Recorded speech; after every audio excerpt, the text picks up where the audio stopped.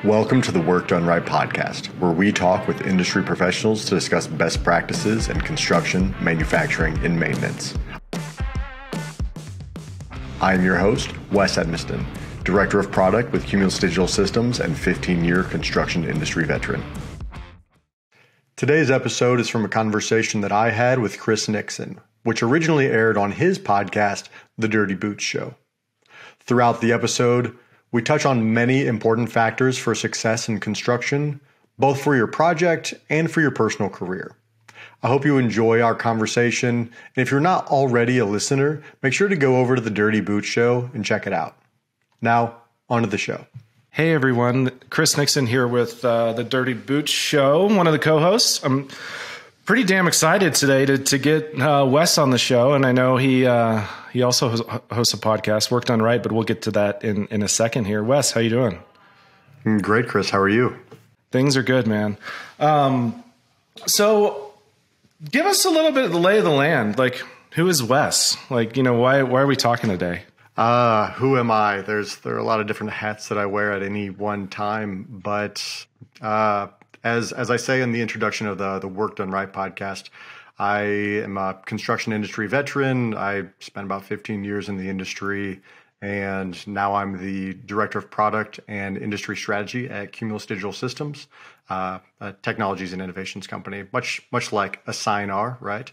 Uh, so yeah, that's that's me. I I started off actually to go way far back when I was in fifth grade. The town that I lived in here in the Midwest got blown down by a tornado, and uh, so all of like sixth grade and seventh grade, I was helping my stepdad to rebuild houses, and that's where I really first cut my teeth in in all things construction. Were you Were you there? Yeah, I was. I was in the basement. Yeah, so the the side of town that I lived on, everything was great. It's a little town of 850 people. Uh, yeah, everything on the eastern side of the railroad tracks was pretty much just leveled. But but no, so so fortunately, uh, you know, there uh, to my recollection, there weren't any any fatalities, no casualties or anything. It was just a lot of a lot of destruction, and and really, you know, again, kind of a, a good opportunity, if anything, to look for the silver lining, a good opportunity to start learning the basics of construction. Uh, as I used to say all the time, kind of whenever you learn how to read a tape measure, what plumb level square is, and you can you can apply that to just about anything. Uh, then, whenever I was in high school, I started, uh, I was working in a restaurant and I had to pick up a second job. It's a very long story. Uh, but I started working in a fabrication facility as well. And I would do anything and everything that needed to be done and just started learning as much as I could. Did you like it?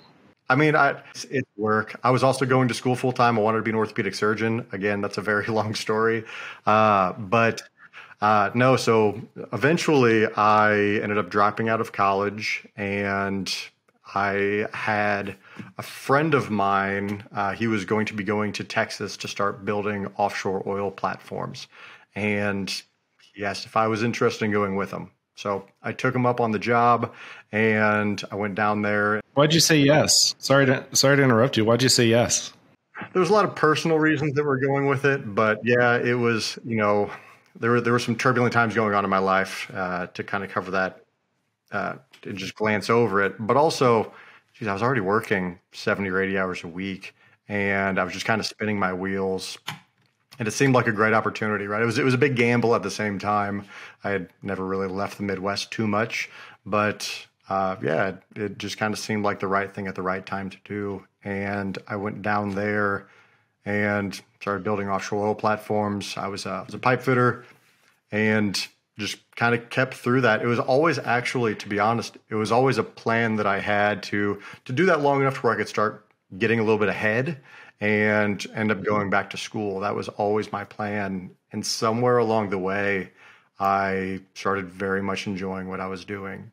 I uh, I had I had I like talking with everybody. I like learning everything that I can from anybody and everybody that I can. Uh, so, so while I was a pipe fitter, whenever I'd finish up a job in one area, I would go over and I would I would learn from the structural guys. I would learn from the the the the, the, the coatings guys, the painters, uh, the insulators, the, the, guys doing architectural work. Anything and everything that I could learn, I was there just trying to soak up as much as I could, and uh, ended up got promoted to foreman actually pretty quickly. I did quite well uh, and then you know just kept building on that momentum. Uh, went to a couple of other projects, built some some natural gas facilities, built uh, carbon capture facilities, and um, held other roles along the way. Sometimes going back onto my tools, sometimes working up to general foreman, and on a couple of projects. I went. I worked on a couple of different shell projects, uh, working for contractors and subcontractors, and the shell reps would walk around the project. I always, you know, whenever I was 21 years old, I made up my mind that that's that's what I want to do. I want to be one of those guys. I, I thought that they, I mean, they were always one kind of curmudgeon and, and difficult to, to deal with sometimes, but also they're just I mean, they were they were very capable people, and and always learned a lot from them. And uh, I was working a project, and at, at this point, I I had already been, like I said, foreman, general foreman. I I got my CWI along the way. Also, I'm certified welding inspector and I was leaving a project. We finished up our scope, and it was a shell project again. And as I was leaving, one of the inspectors was was coming in from lunch. Uh, that he used to take quite long lunches because this was this was well after when he should have been back.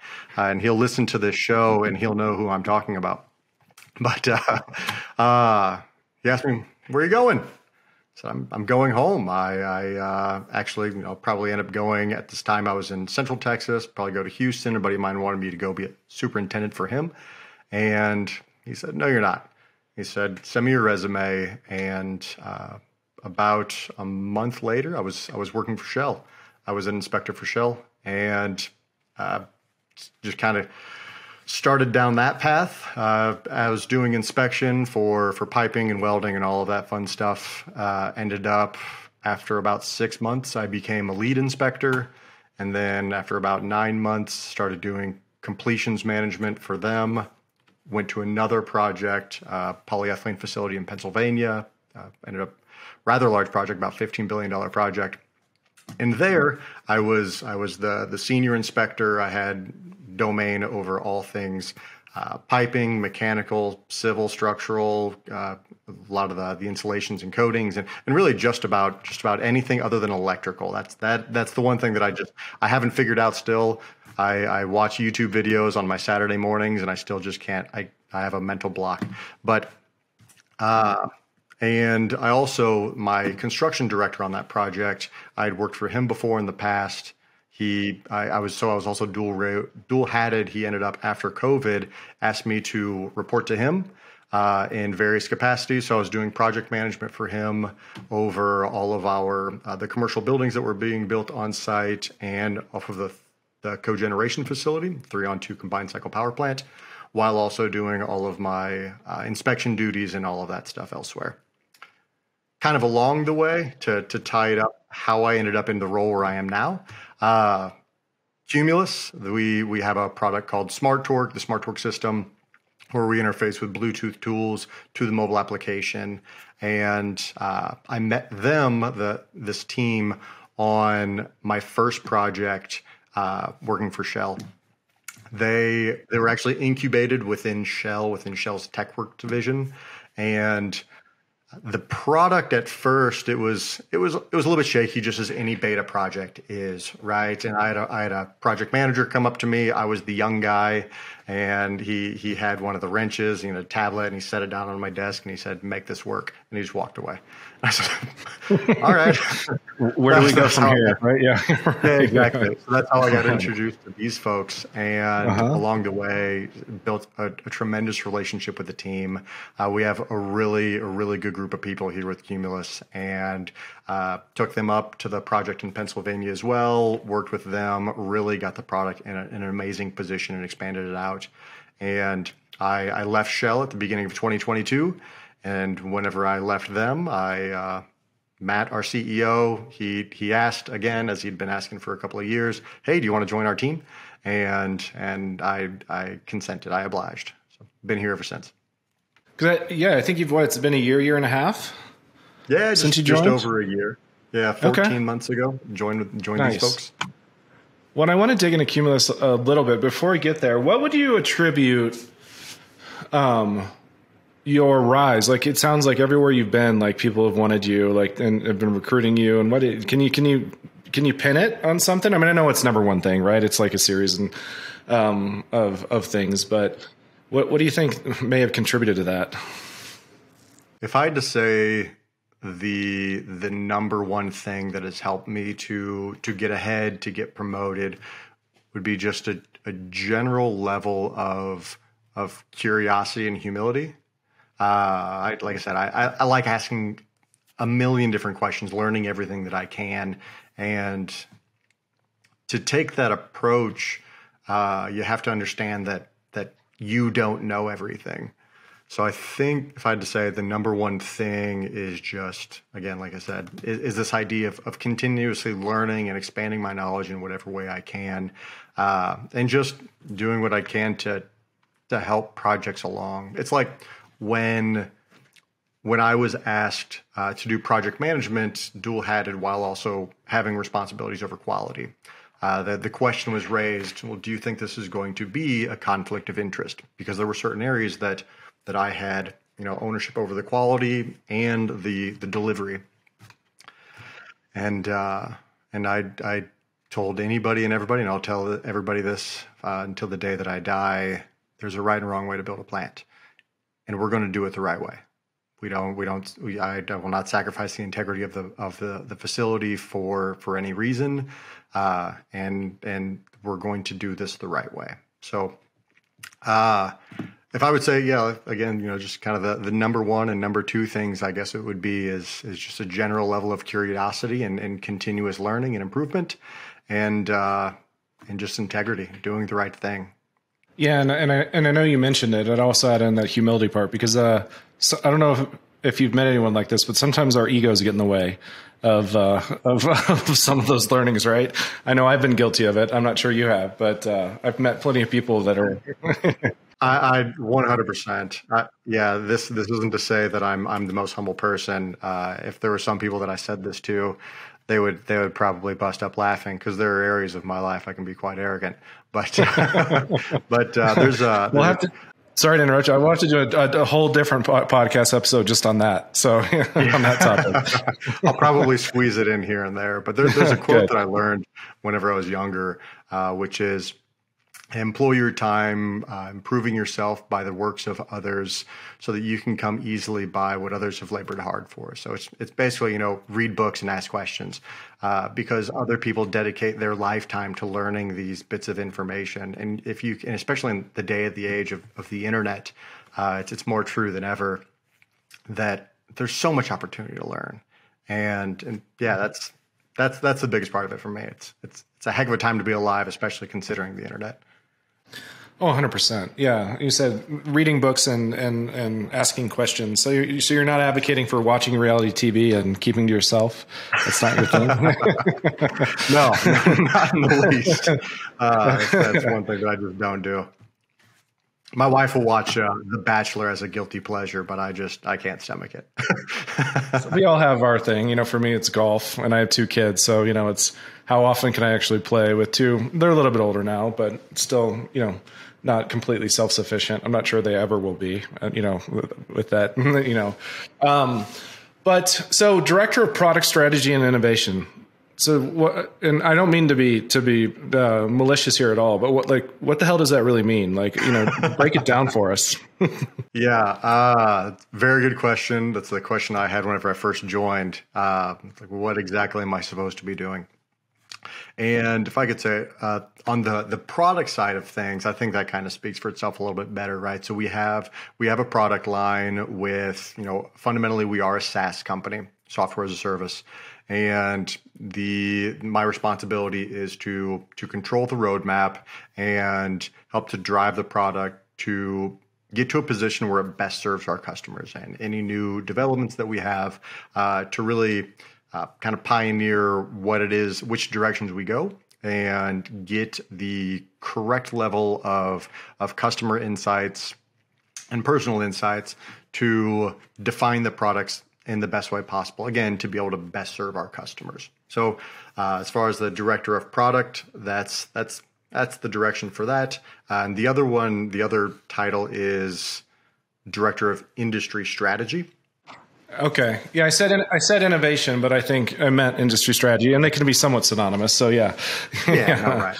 Uh, and then as far as that goes, it's it's what I do there is kind of the interaction with the the is more toward the sales side and the the our customer success teams. So this is just kind of generally speaking, again, providing that that we'll say expert customer insight in order to be able to to help them to best understand our kind of our customers experience so that whenever they're going through their efforts, whether it is that, that they're calling on a potential new customer or if we're talking about going through the implementation process, whatever it is, it's it's how do we best you know position ourselves? How do we best communicate the message uh, to the customer so that they in in a way that that they understand because it's speaking the same language that so that so that our team can be successful and again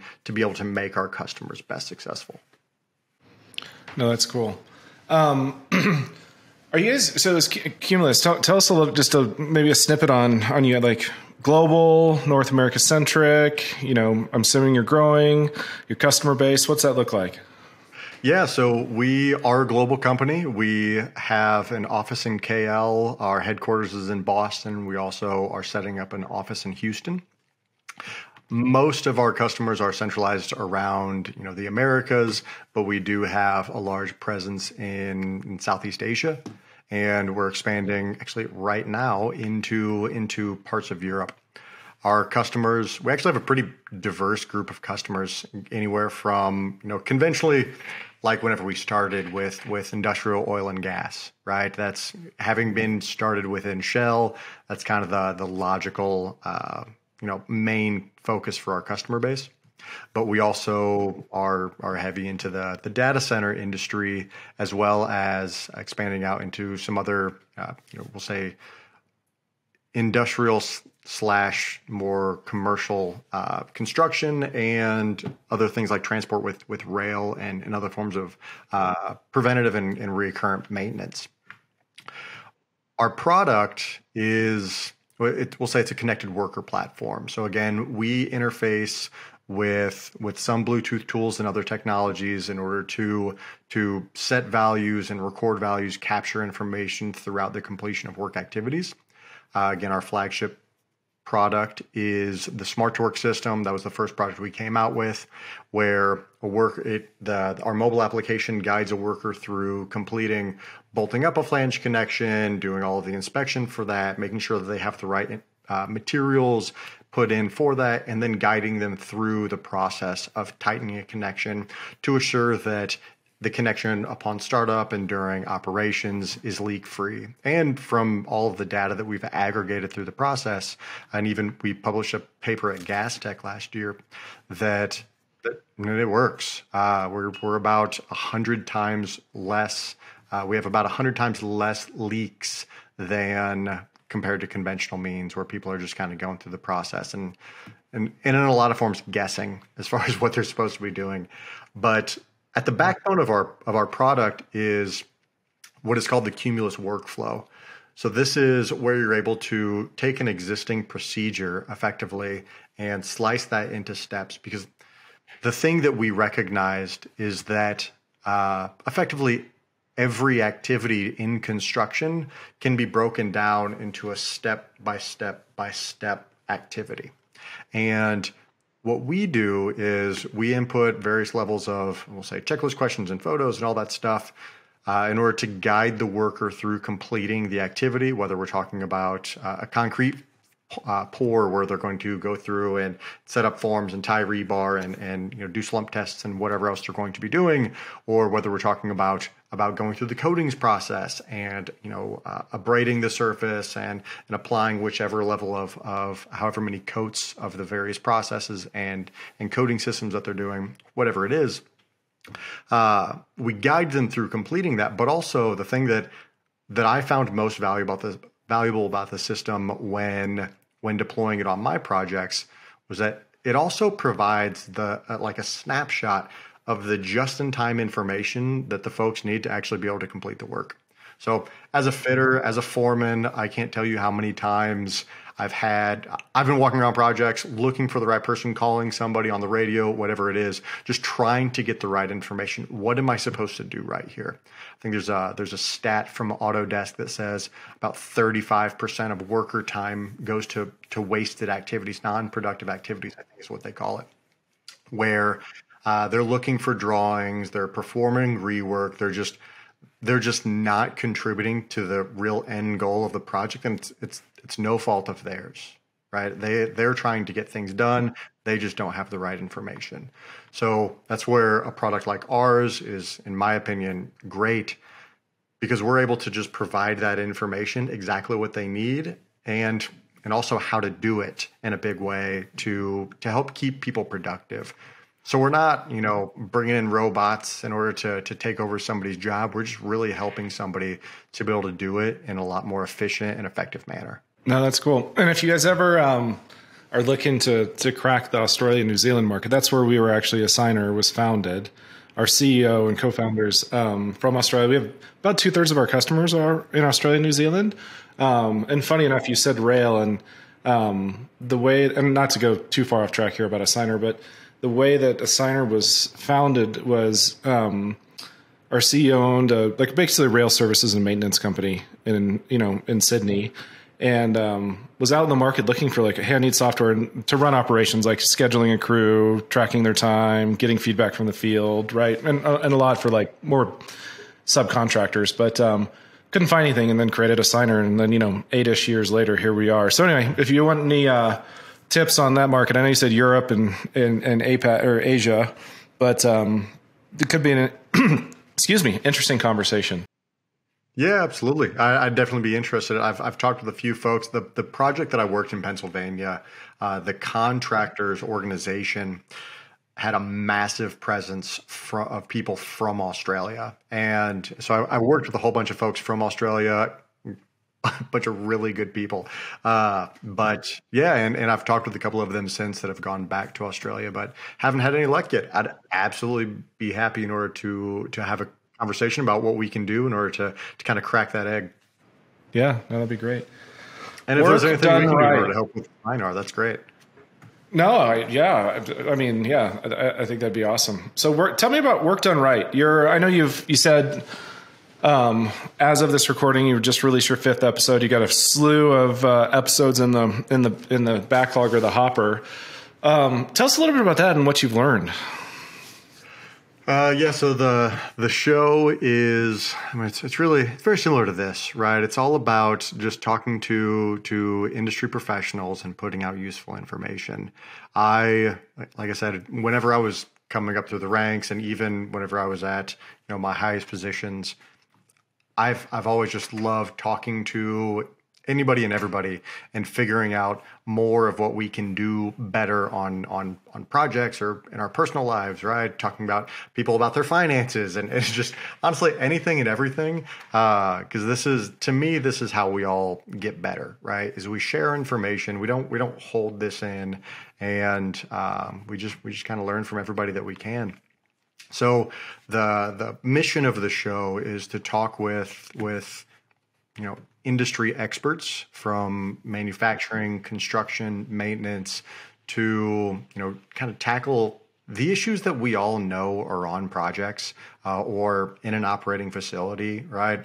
Uh, and and try to help answer some of the questions that we all have uh, there's also a big aspect where you know I think everybody is is understanding that there's there's going to soon be a skilled management gap, and uh, this is also a great way in order to put out useful information to people that are getting into leadership positions or to getting into to you know they're they're a safety person on the project for the first time and I don't know what I'm supposed to be doing or how can I do better.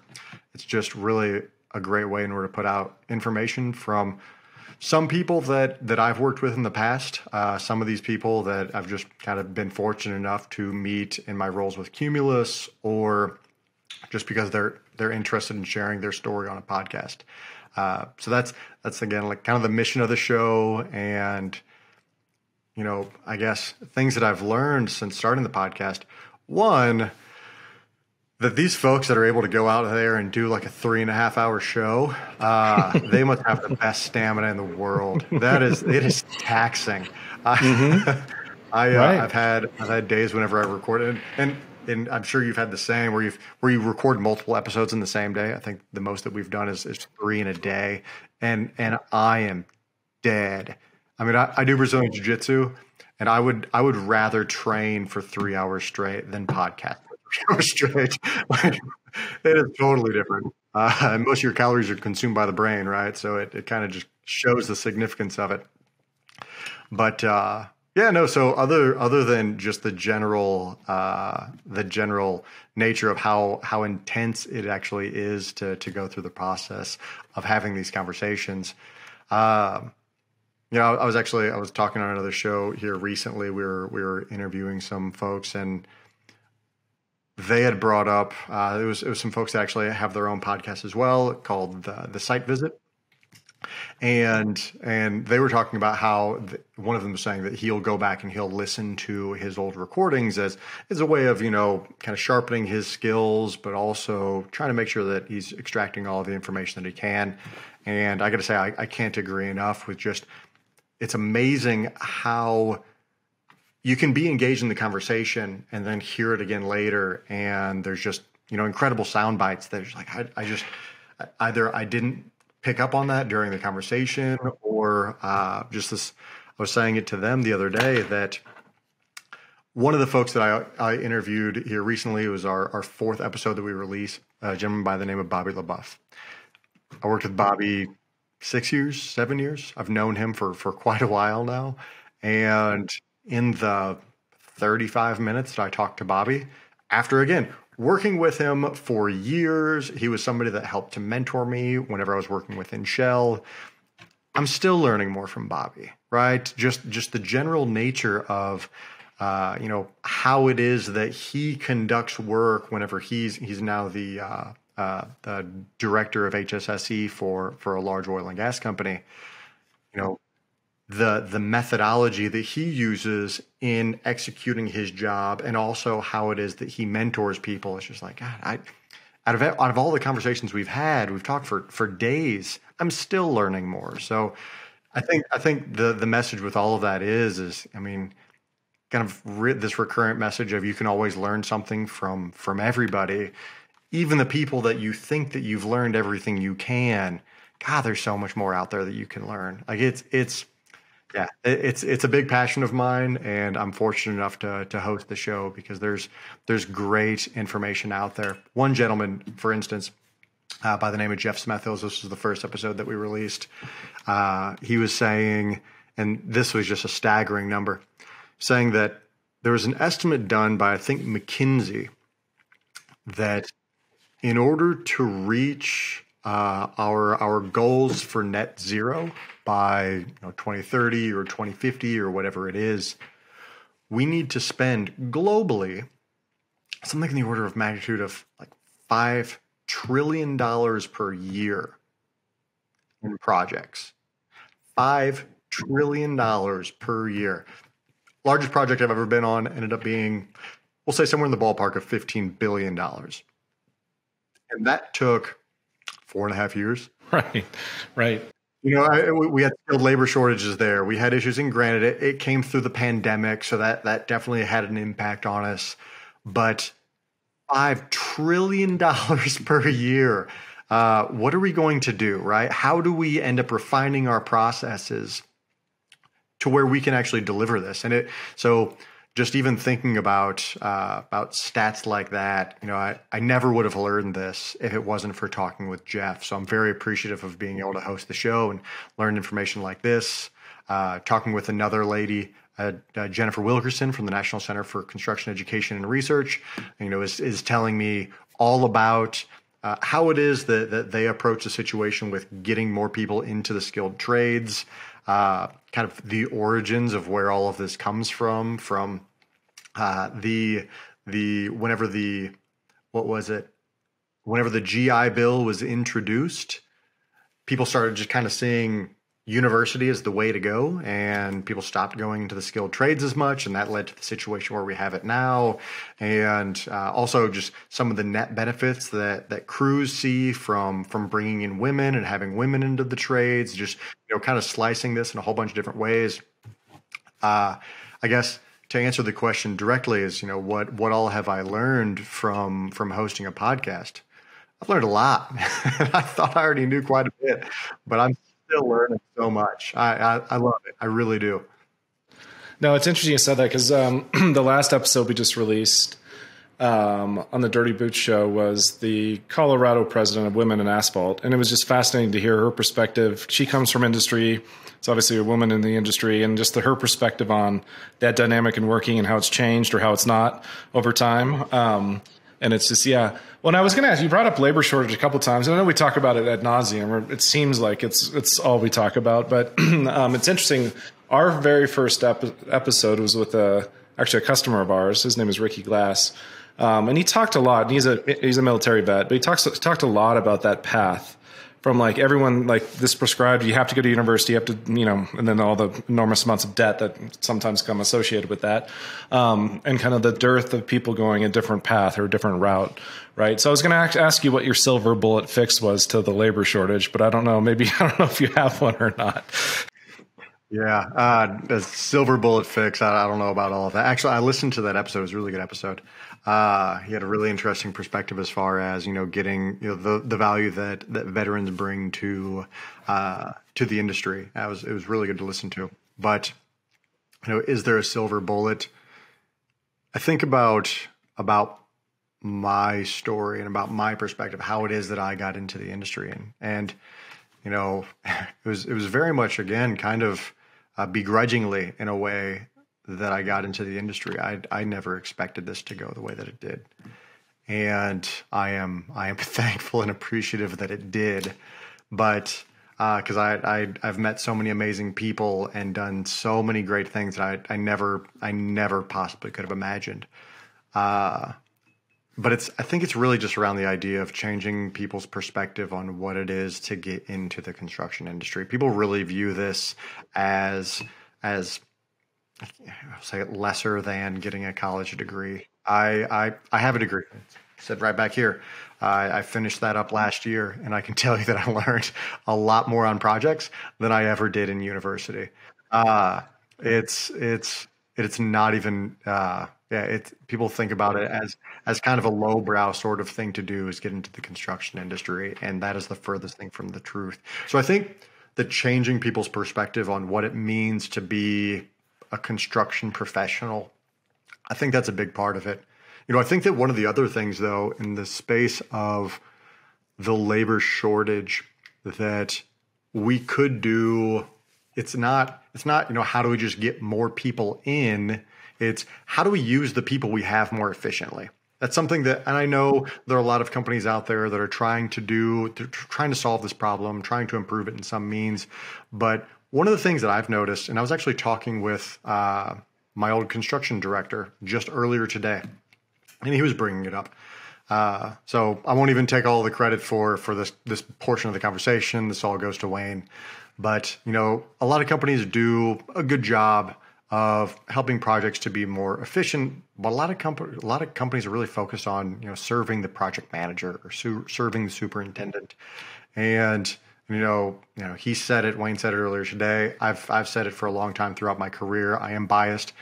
I think that the person that you really need to be targeting is your foreman and how we can better enable foremen in order to better manage their people. Because again, if 35% of our time is going toward toward non-productive activities, well, that seems like a really big opportunity in and of itself. Because if you don't think about this as, uh, I guess if you think about this in a different perspective of what would happen if we brought 35% more people on project? Would that solve our problem? Because that's, you know, solving the labor shortage, that's largely what it is that we're saying. We need more people. So is 35% more people, is that enough? What if we just help them to be more efficient with the people that they already have? So I think that that's a big part of it for me. And in solving the labor shortage isn't just how do we get more bodies onto sites. I think it's how do we enable those bodies in order to be optimally efficient You know what I mean? Oh, 100%. Yeah. And I mean, you think about that 35%, and this is overly simplistic, but, um, you know, what we hear from our customers, at least our customer base, is, you know, revenue perhaps is going up, but margins are going down, right? So that productivity is a challenge. And, and you know, obviously labor shortage is a challenge, but how do you, I mean, that 35% presents a huge opportunity. I mean, you know, mar- you know, you know where the margins sit, and in a lot of the, at least our customer base is um, significantly less than that. And um, if they could just do a little bit, even a little bit more with what they have, and and be, more productive, then that could change the game for them, right? Oh, it's huge. I mean, they they will anybody that's able to to kind of solve that problem of just working more efficiently.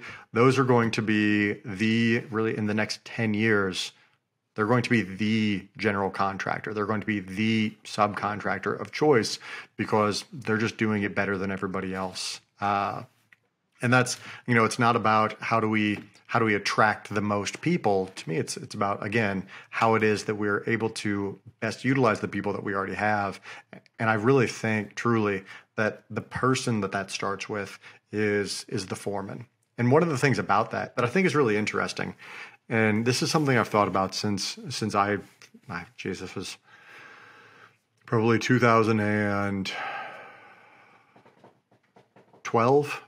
Uh, is you know the foreman again. I think I think a lot of people can once you say it, they will agree. Like, yeah, that's it's probably one of the, the most important people on the project in the sense that that that's where really where the rubber meets the road. That's your your first level of supervision. Those are the folks that help to set the attitude of all of the craft on the job. They're the ones that plan the day in day out activities. They're responsible for for helping to get materials and people and and anything and everything done. Right? They're the ones coordinating at the ground level. They're they're doing really it all. But most of them don't really get any training. And that is just that just blows my mind whenever I first became a foreman. Really, honestly, one company uh, I worked for. I worked for five different companies as as either a foreman or general foreman, and one company on one project gave me training, and this was after I'd already been doing it for five years. Uh, so that that alone, I think, is just is odd, and this this isn't unique either to to Open Shop or Union. Whenever I was whenever I was in Pennsylvania on that on the PennChem project, I was talking with a uh, one of the one of the Boilermaker foremen, and great guy, uh, really uh, very knowledgeable, and, and, I had noticed that he was gone for a couple of days. So I'm talking to him one morning. I'm like, "Hey, where have you been?" He says, "Oh, well, I I went and and took a training, you know, a, a frontline supervisor training through through the hall." I'm like, "Oh, that's great." He said, "Yeah, I wasn't going to do it because they for for supervisors." The site will not cover the hours for frontline supervisor training. They'll cover it, you know, for for for the the personal development for the craft labor, but they wouldn't cover it for the supervisors. And and I went to uh, the the area construction manager, and I said, "Listen, we have to change this. These are the people that that make it happen day in and day out why would we not invest in these people and enable them to to improve themselves? If they want to do better then we need to reward that sort of mentality. And and we had a shift on project and we we there were some there was some uh, kind of political aspect to it but but we ended up ultimately implementing a change and and enabled them in order to go to trainings and still effectively be compensated through the project to do so it, but the fact that we have to have that conversation to enable this to occur is just is just bizarre to me. So I think that one of the areas that that we can make a significant improvement in the industry is investing in our frontline leadership, helping to to train them up, whether it's it's you know dedicating a portion of our time whenever we're deploying technologies like like Assignar's technologies or or on Cumulus Cumulus's front, we can, you know, dedicating time to to serving them specifically, but also, you know, our, our contractors going out there and and and really giving them resources to understand how they can better plan, how they can better manage. Uh, I think it's it's a huge opportunity. No, it's absolutely fascinating, and it, it sounds like that's even a whole potential podcast episode as well, just about you know that that particular topic. But well, Wes, I, I really wanted to not to cut cut this short because we could talk for hours or days. It, it sounds like, but uh, really appreciate you being on the Dirty Boot Show, and I know you're going to do some stuff with this on on Work Done Right. But uh, thanks, Wes. Chris, thank you for having me. It's been an absolute pleasure. I uh, hope we can do this again sometime. I hope you have enjoyed listening to this episode of the Work Done Right podcast. Please help us out by subscribing and leaving us a review. And as always, our show notes are linked in this episode's description. Thank you for listening and see you next time.